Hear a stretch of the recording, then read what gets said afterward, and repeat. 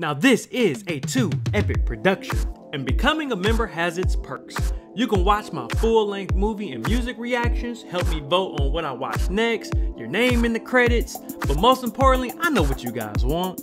You want those raffles back.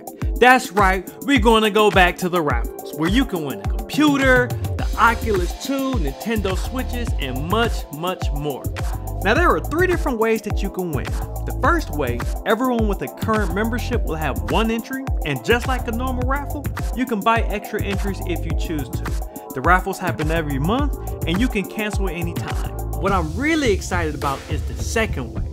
Now, I'm going to use some previous winners to help illustrate on how you can win. So let's start with Jillian. Now Jillian, she wants to invite her friend Emerine to the raffle.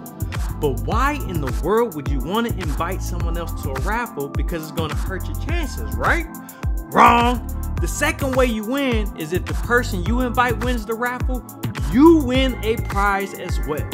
So because Jillian invited Emerine and Emerine won, that means Jillian is gonna win a prize of her choice as well. That's crazy, right? So if I were you, I would invite anybody and everybody, and I do mean everybody. But let's get on to the third way because the third way is even crazier than that. We're going to use Nick as an example. He's also a previous winner and he was invited by Emerine. So let's just say Nick actually won a raffle one month. Well, Emerine invited Nick and wait, wait a minute. Don't y'all remember Jillian? I know y'all remember her, right? Well, Jillian invited Emerine.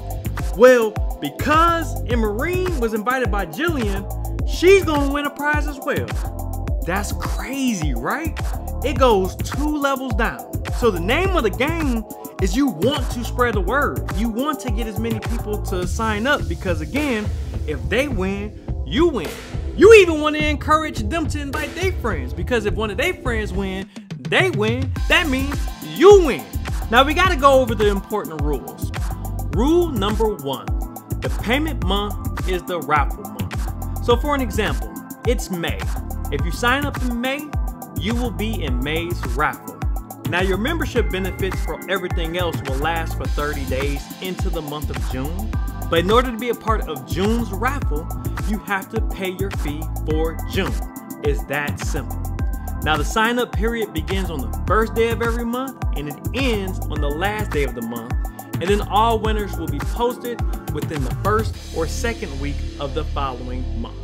Rule number two, you must be in the current raffle to win the referral raffle. So for an example, let's say it's the month of September and Emerine actually won that raffle. Now Jillian, she decided she wasn't gonna be a part of that raffle. Because she didn't sign up for the month of September's raffle, even though she invited Emerine, she's gonna miss out on that prize. So it's up to you to make sure that you're signed up especially if you invited other people, so that way you won't be SOL. Rule number three, winners must take a selfie with the poster and prize. So for those people who win, you're going to get a custom made poster board with your beautiful smile on it. You'll be required to take a selfie with this poster board prior to actually receiving your prize. This helps us with identification and transparency. This way, we're making sure that we're getting the prizes to the right people. Rule number four, current inventory, and accessible prizes.